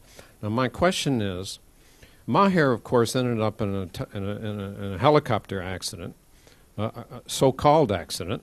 No, no, no, no, no, no, no, no, no, no, no. Maher is still alive today. His brother was killed. He- Okay, he's- the, he's- ma- the corps commander is still alive. Yes, yes. yes. Okay, so he's his telling younger brother is. A, is he's dead. telling me. My question is, what were the? How much dissonance was there among his generals, uh, in thinking like Maher did, although he would only say it to a foreigner in a car when when there was nobody who was going to report back on it. Uh, how much dissonance was there um, in, in his general among his generals, and, and did Maher reflect a larger view among his professional corps people that he was a lousy general, Saddam? Well, I'll leave it to the opinions of those who've studied to, to this, but I mean, I'm, most of the the tapes, obviously, you're not going to find generals telling Saddam to his face in these tapes that he's a lousy decision maker, and the documents aren't likely to say the same thing. The interviews that we've done the last few years with some of the senior generals uh, from that period, um, you kind of break it down into a professional class and a political class of general. And the professional class say now, obviously, um, that there was always great, great concern with Saddam, even in the late 70s, with the manipulation of the perm- personnel promotion system, the selection of commanders, the rapid promotion of, of uh, Khairallah and, and others that were just, it was breaking with this model that the professionals had of themselves as military men in service to the state. Whether or not, you know, I, I'm actually surprised to hear the level at which somebody would say that. Um, I mean, I, it, it sounds shocking even by today's uh, uh, distance from the events. But again, they indicated there was this, this distinction, but, you know, you kept your mouth shut for all kinds of reasons. Uh, some professional, some out of fear. Um, I, just one thing on the car, the joke after in the 90s was that the Republican Guard officers all had staff cars, all had, you know, state provided cars, and they said they were the best maintained vehicles in Iraq. They knew that because every Friday they had to go in during the cycle, the down day, they all went in for maintenance. Um, you know, snicker, snicker, that's when the batteries had to be changed out for the listening devices. So there was no, there was no doubt they were being recorded, at least in the minds later on during the regime. So that's why it's an interesting story, but I, I don't know whether there's opinions on. After 91, there were uh, some of the generals, especially those who, who fled Iraq, that uh, made their opinions, like uh, General Khazraji or General Samarai. Uh, uh, for example, another general who didn't fled but made his opinion about Saddam, General Thabit Sultan, who was uh, deputy chief of staff, was arrested and was then killed. He paid for. over lunch. Uh, exactly the same experience. That's interesting. We- We have a major general here. Here, wait. Um,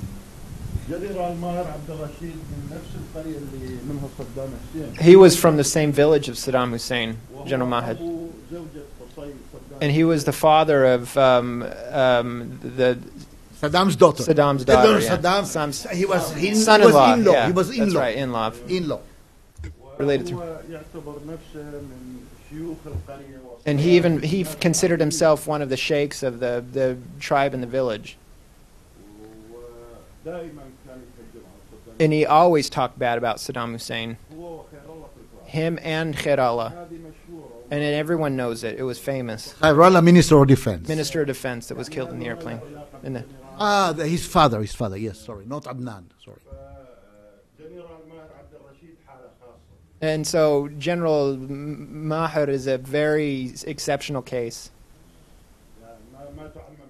I don't think that you can generalize what he said to other generals just because he was so close to Saddam and was known to be able to criticize Saddam. Other questions? Mark, and then uh, back here in the back. Nope. Uh, Nigel, I'm sorry. Uh, Nigel Ashton. I just wanted to raise a, a methodological question, which normally people sort of think, oh my God, this is going to be dull, but I think it's quite fundamental um, here. And Kevin kind of highlighted it at the outset. We've got this sort of fabulous trev- treasure trove of Iraqi records, vast amounts of material.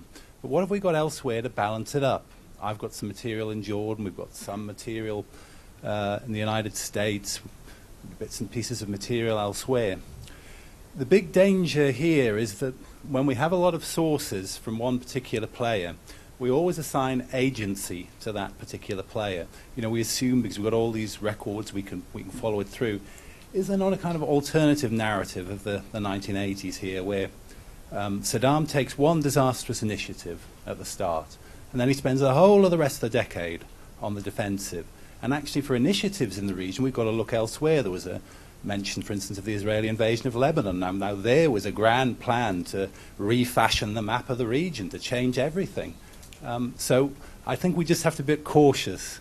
Uh, I think Kevin kind of pointed us towards that at the outset in how we use these things and assuming that, you know, because Saddam's having some private discussion about his attitudes towards Israel or so forth, that we translate this through into grand plans about what he may or may, may not do in the long run.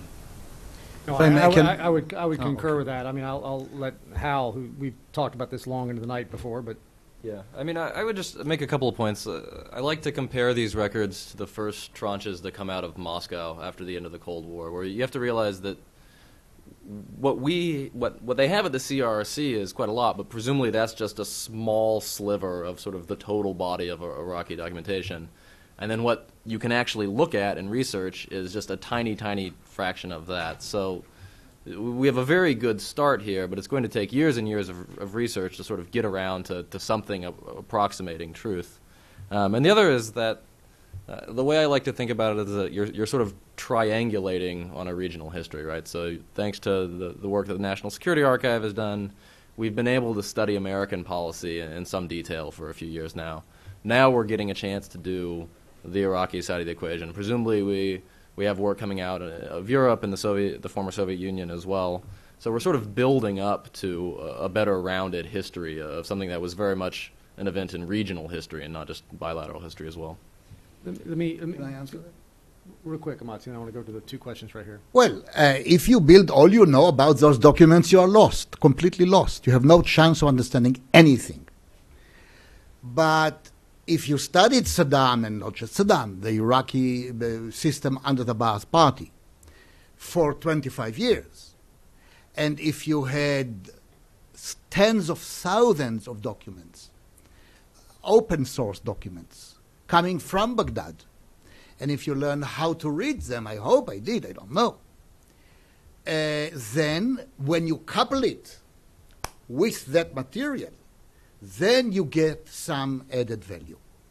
But I'll put it this way nothing that I saw really uh, surprised me or was new to me.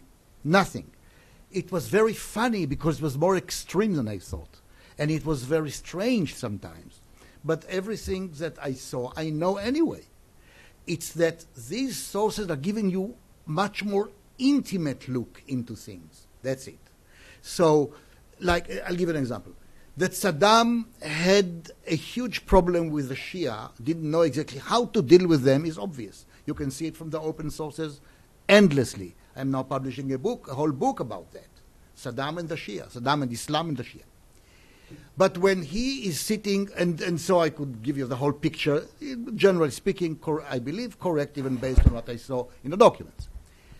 Pesach, when he saw the, the military part, it didn't give him a lot new. He knew it all from open sources because they published it, they made it public, and it usually is quite good quality.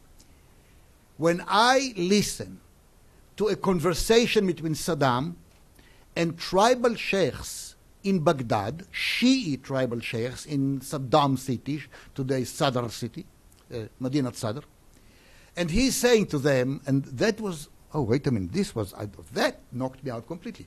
And he said to them, Who were the people who revolted against me? Now, I know who they were, and they knew, and he did. But he wanted them to tell him who they were. And they said to him, Two kinds of people revolted against you in the Intifada, in the revolt of March 1991. The, the meeting is a, a month or two later. And they said, Two kinds, just, just these kinds. Kind number one, Abna Ummihim Abna ummihim. Uh, these are riffraff, uh, namely people who, who uh, don't know who their father is. Uh, and only their mother, as I mentioned. He is uh, uh Musa ibn Halima, whatever, or ibn Zainab, whatever. They're not Musa, Musa ibn Ali. These guys, and they are riffraff. But Im- immediately they realize that something is wrong. He goes, he is Ibn Ummihi himself. So immediately they say, oh, well, it doesn't mean that they are bad people, but, and they say, I know, I know, they're not bad people, but it means that they didn't have a fatherly figure, and so all of a sudden. Okay. And then they say the other one, other kind of people are muhannathin. Muhannathin? Muhannathin is, uh, is uh, transvestites. They revolted against you. And I say to myself, well, that's new to me. That was new to me. and then he says, transvestites? Oh, these guys who are dressing like women and have uh, uh, uh, lipstick and uh, dye their hair yellow and red and so. Yes, yes. I, he said, I hate transvestites. I hate them. Kill them. So they say, but maybe this is just, uh, it will be a, it will be a sin, haram, yani, to kill them. So he says, no, no, no, no. It's a sin to keep them alive. Kill them ala rukbati, on my responsibility. Kill them, kill them like that. And he's, wow, he's shouting. That's new. You see what I mean? But that he had a huge problem with the Shia, and especially after the 1991 revolt. My God, there is so much information about it. But that I get. So it's not like we are born to, we are newly born historians of Iraq. Uh, Pesach studied their military for 30 years. I studied Saddam for, or the, the system for 30 years. So when you have that background, you can, and when you just base on the documents, you can learn a lot. But you also have to refer yourself to sources that came before, written by Phoebe Marr and by other people uh, like myself and like Phoebe, who, uh, you know, we, we have been working it for many, many years. Good segue. Phoebe, you have the next question, and then Mark, and then Mark. So much has been right said. I just, I really, uh, I really wanted to weigh in and and agree with them. Be, uh, agree with what's been said. The documents are e- extremely valuable, and I tried to suggest yesterday they they they need to be supplemented by by memoirs, particularly in Arabic. Nobody's mentioned uh, Wafik Samarai, whose memoirs and the an interview with, with whom I found extremely interesting, and the oral history, which I know that, that you all are doing uh, of, because uh, obviously people are, are, are still alive and, and uh, now may be willing to talk, although hindsight is, you know, is not the same as, as what you said at, uh, at the time. I, I was just going to throw in on the run up to, to the war. I, I, I think we should do, do keep a, a, a, a nuanced uh, point of view about the, the, the autocracy uh, and, and so on, because many people at a, at a much lower level than those who saw Saddam every day uh, uh, told me that th- this whole issue of Iran um, was studied by everybody um, in, in the government and outside, and it was a it was a subject of debate. And after all, there was a revolution there. Um, there was going to be problems with the Kurds. There were going to be possibly problem with the uh, the the Shia. And I, I can't help but think that many of these reports actually got to Saddam himself. So the whole idea that that he he alone he, he was the, the only one that, that ever said anything and, and, and so on. I think we have to put that in a little bit of perspective. What struck me in reading some of these documents with this perception that you couldn't uh, say anything to Saddam, you couldn't suggest it, and so on, was the fact that in, in, in a number of ways there was some people who found a way actually uh, to get a different point of view in. So I just want to I, I just want to add there there are a lot of other um, uh, documents and oral sources out there to supplement this, and they really they do need to be uh, assessed. Absolutely. Mark? Just a quick yeah, microphone, please. I mentioned to a few people one on one, but th- there's a whole set of uh, books uh, published by the Iranian Revolutionary Guard Historical Office, like 50 of them or something like that. 44 about, volumes. yeah.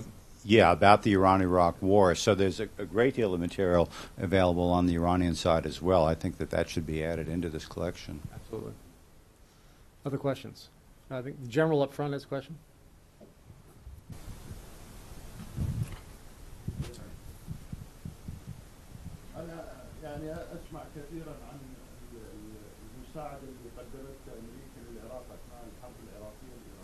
I hear a lot about American help that they could have given to Iraq during the war. But we never felt, I mean, from our point of view in the air defense, we never felt any of that, that help. We couldn't, we didn't hear about it, we didn't, you know, they, they could have given help. And the only, the only um, indication I think I could uh, think of of that help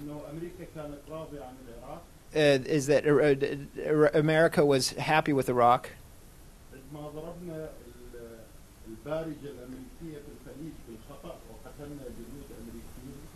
When we uh, had killed some American soldiers um, uh, mistakenly in the um, Gulf, there was um, a, a, ship. USS, USS Stark, 87. Yeah. Yep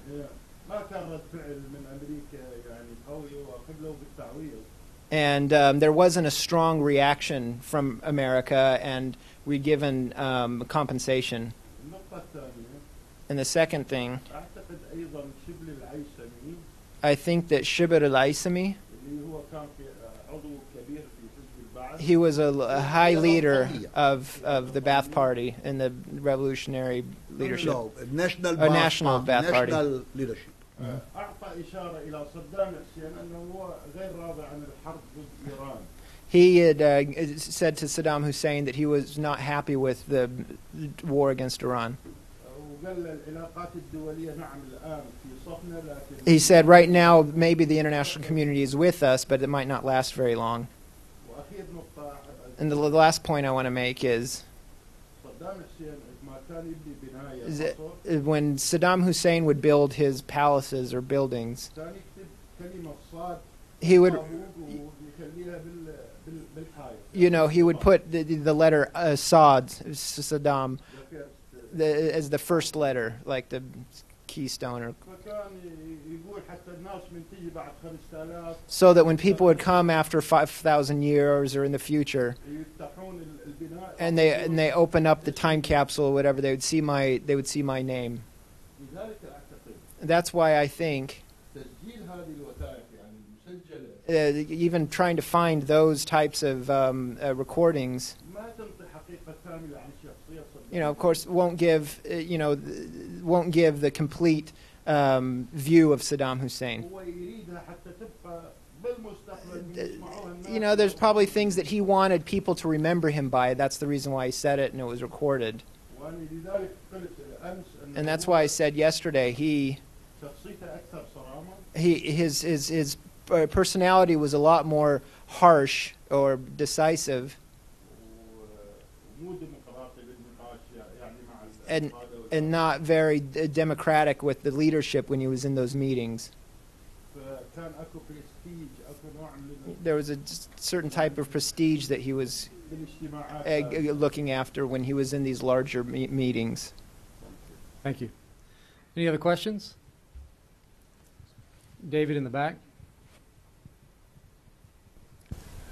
Sure. Uh, I, just a question and a comment. Uh, the comment will be just a shameless plug. Some of the uh, transcripts which were mentioned today are in the Saddam tapes uh, which just came out, the story of the, uh, the uh, transvestites and a few others. So if you're not able to make it to the uh, CRRC, uh, this book, which we've recently edited, is something that you'll be able to purchase online and read some of these fascinating transcripts. Uh, the second is um, I, I wonder if it's a greater concern. Uh, of, of course, the Iraqi record should not be read uh, should not be read alone. There needs to be a lot of context, and I think this this conference has done a good job of that, bringing in scholars talking about the Soviet records and the Russian records and the French records and so on, and of course the Israeli experiences as well. Uh, my far greater fear um, is that most of the narratives uh, of the Iran Iraq War and of other issues dealing with Iraq are far too much from the U.S., uh, from an American centric perspective.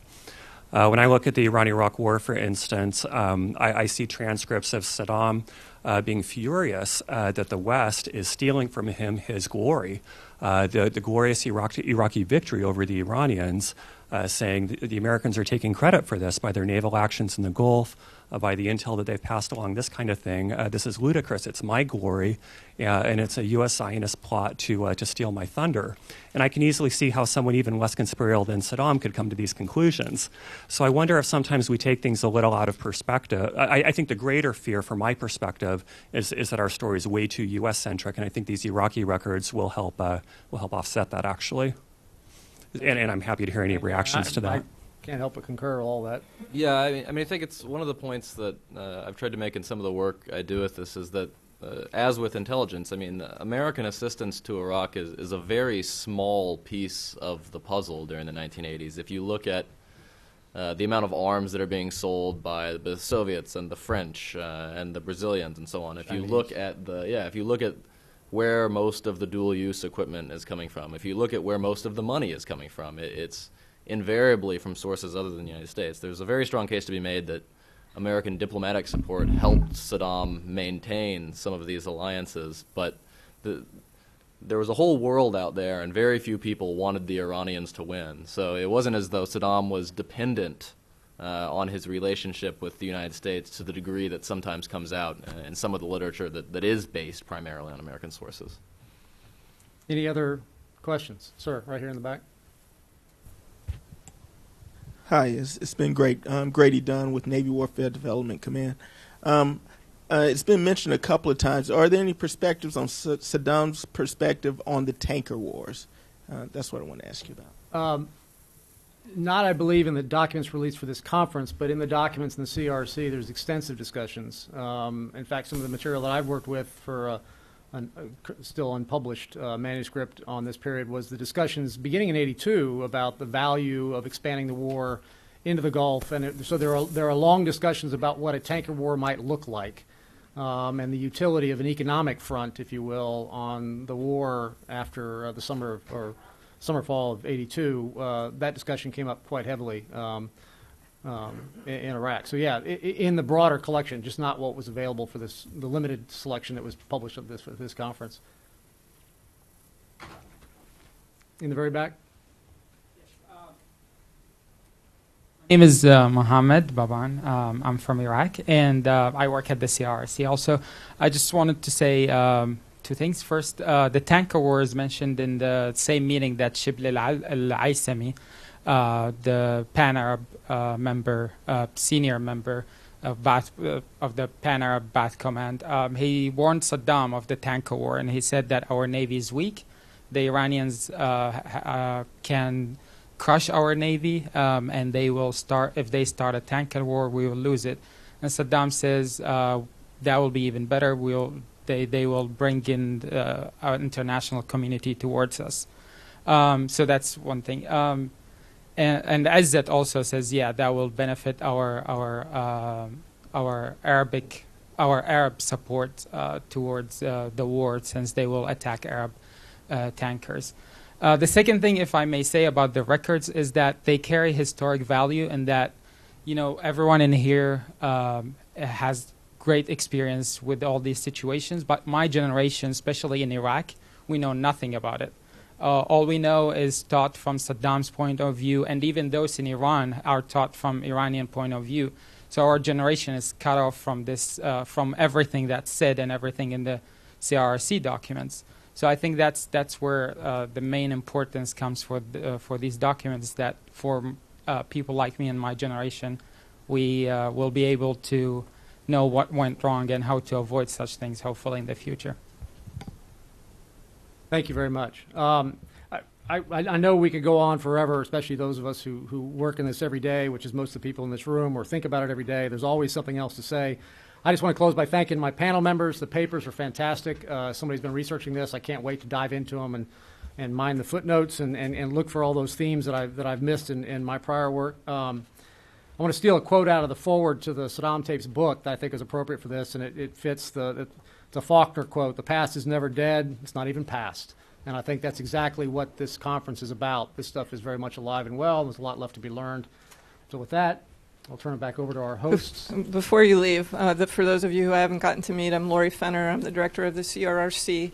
I want to thank you all. I've learned very, very much over the past few days in this interaction between the documentary sources that come from various locations, not just ours, as well as uh, your experiences have added greatly to, to my understanding. Um, I think we can only go up from here uh, to do more, and we've captured some of these uh, these conversations, obviously, with with what the Woodrow Wilson Center has done. Let me add my thanks to all of the panelists over the past few days, and also to all of you in the in the audience. audience who participated. Um, but I'd like to say a special thanks to the Woodrow Wilson Center and the staff, particularly Pete and Tim, and I know there's very many more behind the scenes who helped, and also to our staff, David Palkki. None of this would have been happening at all if it weren't for David, as well as the historical um, effort by, by IDA, but also uh, some of our new people. And Mohammed just spoke up. He's been a real boon to us, helping us with translations, and Jessica and Christopher, and I think uh, Daniel is still here and Steve is still here. So um, if you have a chance to say thank you to those people who worked over the past uh, more than eight months, but for my staff over the past six weeks or so, weekends and holidays and nights and everything else, that would be great if you just give them a little pat on the back. I'm going to turn this over to Chris, uh, Christian before you leave. Thank you from me. I can just say thank you to all of you as well, um, to my staff, but especially our colleagues at the CRRC, headed by Lorry, David, Mohamed, uh, Chris, and Jessica. Um, thank you all. Thanks to all of the speakers, uh, to Kevin for sharing an amazing last panel. We've had a really rich two and a half days. Uh, as Lorry mentioned, we're transcribing the discussions here and uh, hope to make this available. I think there are lots of uh, eyewitness statements that I think will add immensely to uh, to the history. Uh, we are also planning, of course, to publish the conference paper, so uh, we will be in touch with the authors uh, shortly about um, the publication process. Uh, let me thank Mike Van Dusen, the center's um, executive vice president, for making it all happen at our end. And with that, Thanks to everybody. Um, hopefully, see you again soon at another one of these. Bye bye.